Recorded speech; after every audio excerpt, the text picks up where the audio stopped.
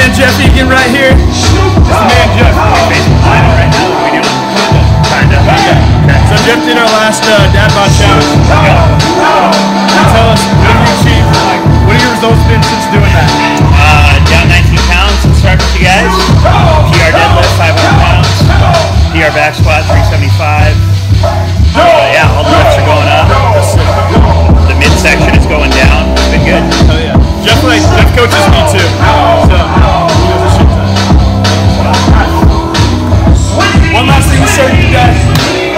gonna do a few muscle ups because